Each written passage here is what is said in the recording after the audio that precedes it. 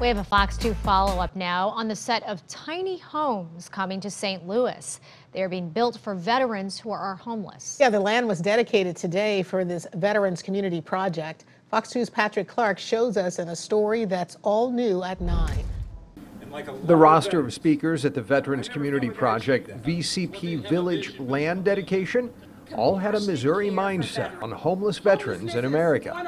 This is one of the best days uh, of the last three and a half years of being the mayor here, is to be able to do something like this that is going to be so impactful for our city. When they went in, and when you go there today, an area that was between an old nuclear power plant and a club of ill repute, an area that was in many ways forgotten and abandoned by those of us in government for too long, they have transformed. They have increased property values. They have brought energy and interest and dynamism. 50 tiny homes will be built thanks to the Veterans Community Project, a nonprofit founded in Kansas City by a group of combat veterans. A successful community involved in the build in Kansas City led veterans and collaborators on the project to speak on its success firsthand from the western side of the Show Me State. Yeah, you know, I mean, it's the kind of day where you got the mayor of Kansas City in St. Louis to celebrate the expansion uh, to St. Louis.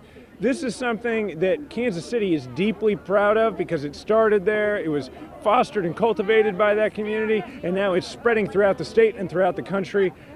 I'm deeply proud to be a part of it, and I think that in the long run, St. Louis will look at all the other cities we'll go to and say, we were one of the first, and be very proud of that. Near the corner of Grand and Aldine in North St. Louis, a five acre campus includes the 50 tiny homes and a Veterans Outreach Center, just blocks away from the Veterans Hospital. The homes are around 320 square feet for a family unit, which can sleep up to seven people. In North St. Louis, Patrick Clark, Fox 2 News.